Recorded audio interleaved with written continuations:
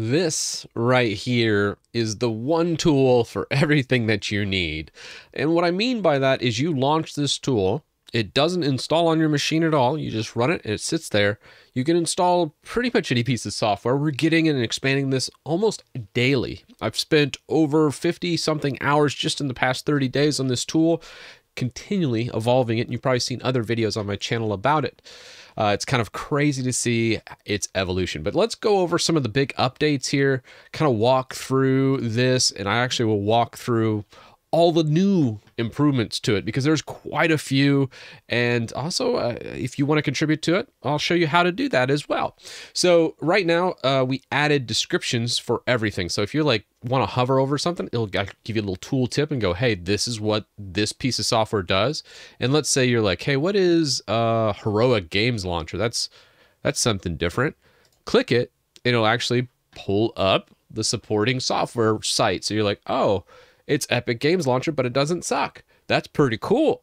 So it shows you all these really neat projects. Great way to uh, see a bunch of new open source stuff. Most of this is open source software. There's a couple like Adobe Reader and other nasty software in here that you pretty much need to use in Windows. So I've included those, but for the most part, I try to elevate most of the open source community and other projects so you can easily install.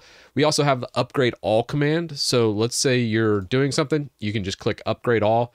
Anything you install through this, it'll go through, check all the software that's installed, and then upgrade it for you. So really cool. And if you want to see, hey, what software do I have installed? You can just click get installed it'll go through and say, hey, you have all these things installed on your system. And if you want, you can actually install the certain selection by just clicking it and uh, or just clear and pick those specific ones you do want to uninstall. So great way to do that. The tweak section, obviously, not too much has changed here. We've added some really cool stuff, some optimizations in Windows. Uh, one of the big ones I did was the Teredo optimizations for IPv6. Now, IPv6 is a really uh, good feature for a lot of things with IPv4 running out of addresses and other things. But a lot of people don't realize there's a lot of tunneling and transitions that happen that make your internet go a little slower when using IPv6. There's this translation if it goes from IPv4 to IPv6 or IPv6 to IPv4. A lot of times when it's translating that, it causes a lag. And uh, disabling Teredo is actually recommended now. So I'd, I'd actually check this and then just hit run tweaks. Or if there's other stuff in here, let's say you need to do a cleanup, just do those. Or if you want to change the DNS, you can do that. But very simple. Just run the tweaks.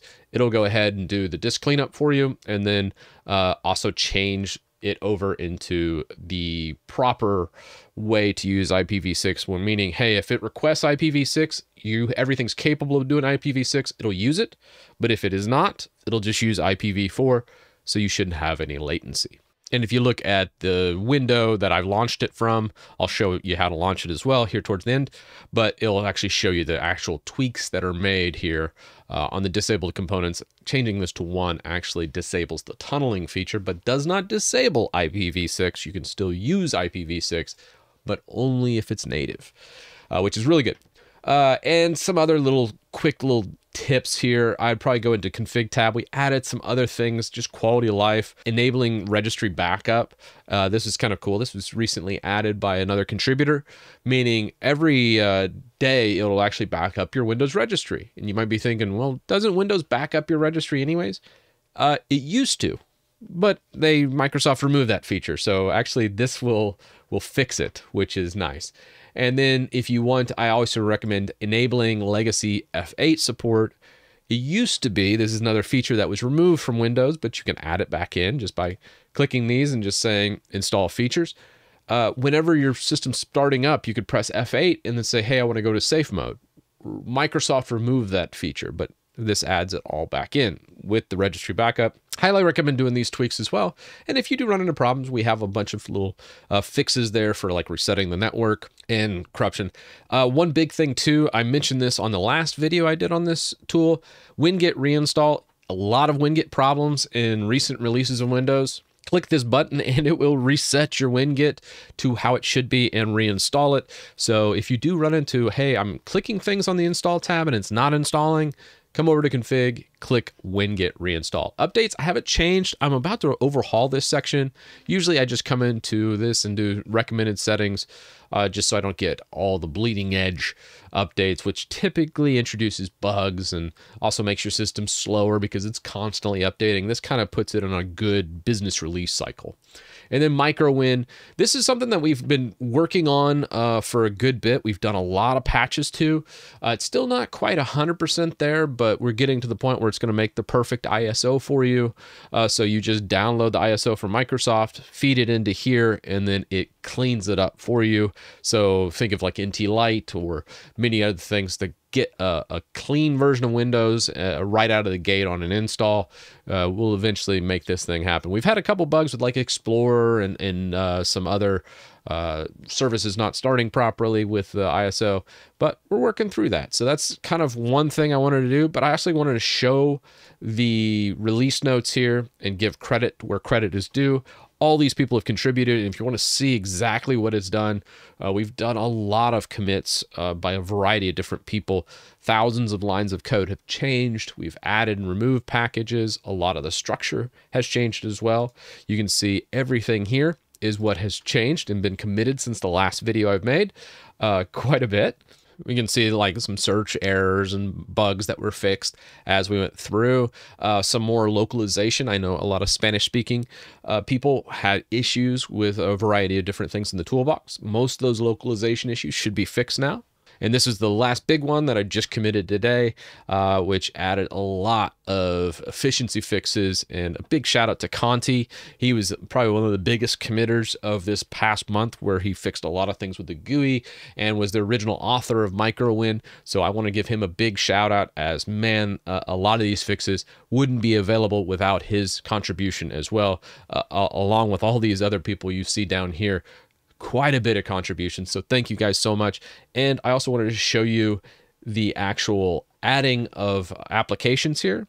On this side, what we did was instead of editing the GUI every time, uh, you can actually add whatever you want, just WPF install, and then usually a, a short name for that application. And then just you need the supporting documentation along with it. So you have to add the description, you have to add the link, you have to add the context. So if you do want to contribute to the project, one, make sure it's the test branch. Also, make sure you have every field filled out. If you don't, it always gets denied. I've also added unit tests, and a lot of the unit tests in here double check the code. So I'm only human. Sometimes I might make a bad commit, but the unit tests are supposed to keep me honest and and also double check everything that gets committed. So let's say I approve something through code review, uh, it would actually go through a unit test and then spit out, hey, this is wrong. Really cool stuff. I've been working on this the last week or two, and most of it is is polished. And any syntax errors won't get committed in the main branch because the unit test will catch it before it goes over, in theory at least it's also kind of wild. And this past year, uh, I've committed to doing about 1,500 commits. We're going to double up the commits this year. We're going to do a lot more in the open source realm. I've actually been doing a lot more code review. This used to be almost one, two, five percent uh, for you know I'd say 2022 for sure. 2023 it started increasing, but uh, this past several months, a lot of contributions have happened, and I've been doing a lot of code review where my commits used to be well over 90% of what I did on GitHub. So, one, thank you guys for contributing on this side of the things. Huge, huge shout out to everyone that's done that. It makes it to where I become a better coder and I'm learning from all these contributions, but also able to fix things. And also a big shout out to everyone that supported the project, whether from a GitHub star or buying the executable wrapper. This isn't needed by all means. It's more of a donation, uh, as the executable wrapper uh, is not uh, needed to run. If you do want to run this without paying any money, you can just by going terminal admin, just right clicking down here, and then just doing an IRM and christitus.com forward slash win. That's that's how you run it. And if you want to run it a bunch or just kind of keep it on your desktop, what you can do as well. Under tweaks, there's the create shortcut. So if you want to create a desktop shortcut, you can actually just create that and then just right click and run that as admin and it'll relaunch the script anytime you want. But just know it never does install on your system. Once you hit exit, it, it's basically off. So it's not a piece of software you're installing, you're just running a script. And that's really what all of this is. And we're going to continue involving in it with all these contributions. I've been dedicating a ton of time, so I'm sorry for the lack of videos in December and this bit. I'm trying to ramp up and make more videos, and you're just going to see a lot more live streams over on Twitch as well. I do take all those, chop them up. So if you do want to watch them and you're like, I hate Twitch, I'm not going over that site, totally get it. I also put them over on Titus Tech Talk, which is my secondary YouTube channel. So thank you for everyone that has supported me. And I just am so psyched about this new year, learning more about coding, really evolving things, and making this the one tool that can do everything. So if you want to tweak your system, you want to optimize it, you want to install software, you want to create a new ISO, let me know down in the comments. What would you like to see? What can I do better? Because we're going to get this new year and I am so excited to see everything that is uh, going on. And with that, I'll see you in the next one.